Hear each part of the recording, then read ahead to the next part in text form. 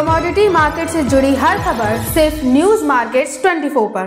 खबर काम की। नमस्कार दोस्तों welcome back to our channel news market 24 आज खबरों में बात करेंगे कृषि बाज़ार में खास तौर से गेहूँ के बारे में। देखेंगे किस तरह कीमतें चल रही हैं गेहूँ की और आने वाले समय में किस तरह का कारोबार गेहूँ में देखा जाएगा, तेज़ी आएगी या मंदी, विस्तार से इस बारे में बात करेंगे। इसलिए आप हमारे साथ खबरों में अंत तक ज़रूर बने रहिए। तो मीडिया सूत्रों के हवाले से खबरें आ रही हैं कि गेहूँ के दाम दिल्ली में स्थिर देखे जा रहे हैं, हालाँकि व्यापारी इसे ज़्यादा मंदा मानकर नहीं चल रहे हैं।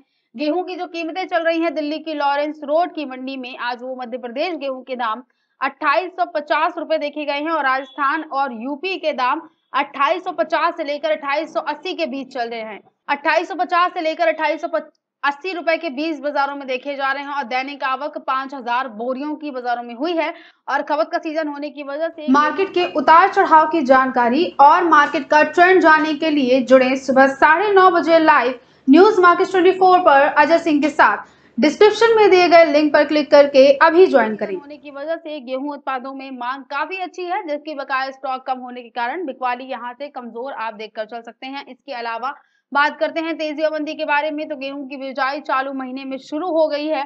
जिससे कम से कम दो लाख मीट्रिक टन बीज की खपत देखी जाएगी और जिसकी चौतरफा लिवाली भी बढ़ गई है। इसके अलावा नीचे वाले भावों में उत्पादक मंडियों में भी लोकल और चलाने की मांग बढ़ने लगी है और यही वजह है कि बाज़ार ठहर गया है। सरकारी माल भी कोई सस्ते बिकने वाले नहीं है और ऐसी स्थितियों में वर्तमान समय में गेहूँ में जो दाम चल रहा है, इसमें कोई भी जोखिम नज़र नहीं आ रहा है।